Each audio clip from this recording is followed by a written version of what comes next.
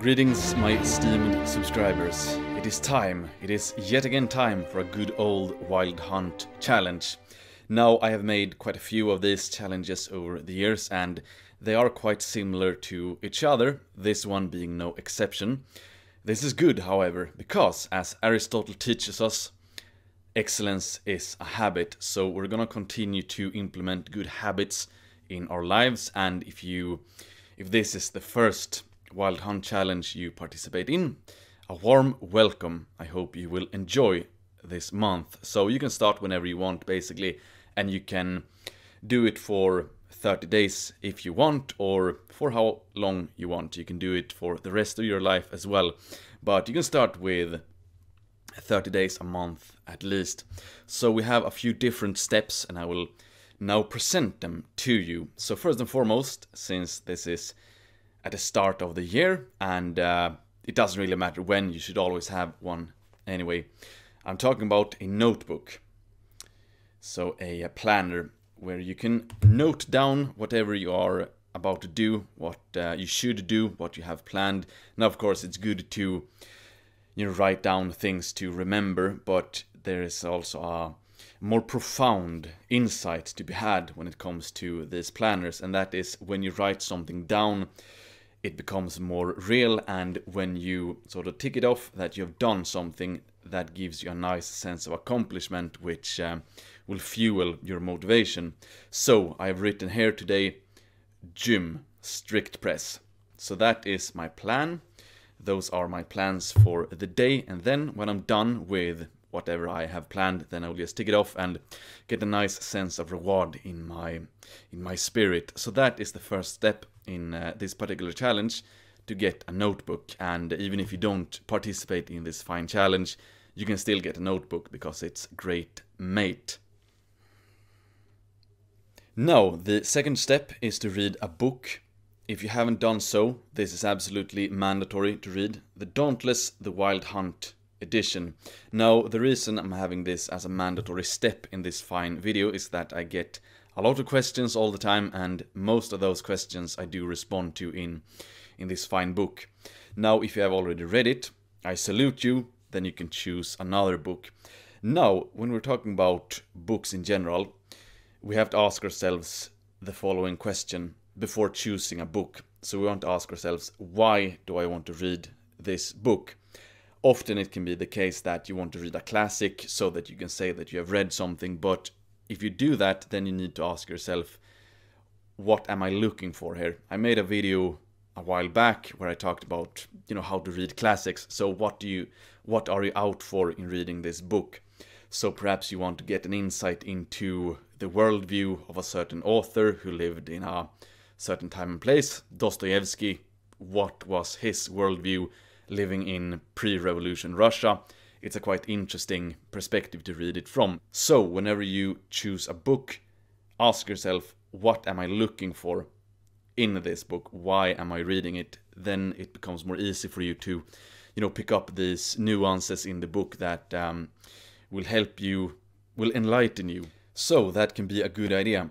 Now, moving on to the third step and this is for everyone who trains in the Temple of Iron. If you train MMA or something else, then you can discard this step. But if you only train in the Temple of Iron, which I do now, by the way, I focus fully on um, the Temple of Iron, then the step, then this particular step of the challenge is to start a schedule. And I can speak from personal experience here. The difference between training when you have a training schedule and when you don't have a training schedule, it's um, it's massive. It's two completely different things.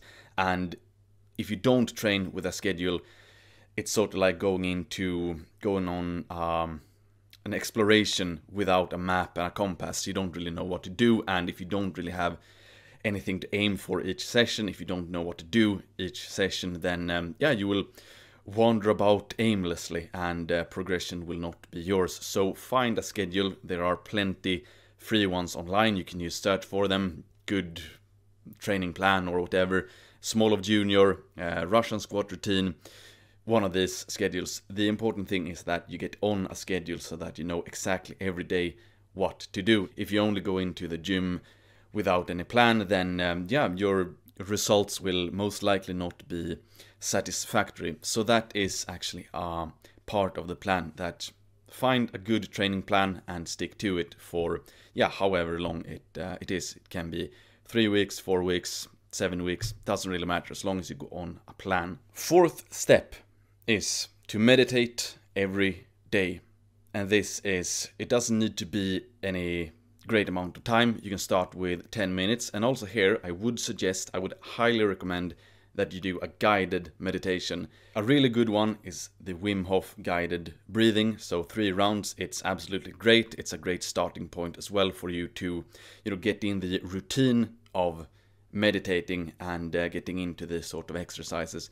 Then of course you can do um, different stuff later on. If you are used to meditating, if you have a good routine, if you know what you're doing, then yes, you can continue the exploration. But if you aren't used to meditating, then you can start with Wim Hof or any other guided meditation. There are meditations to activate your chakras. I will talk about this in a different video.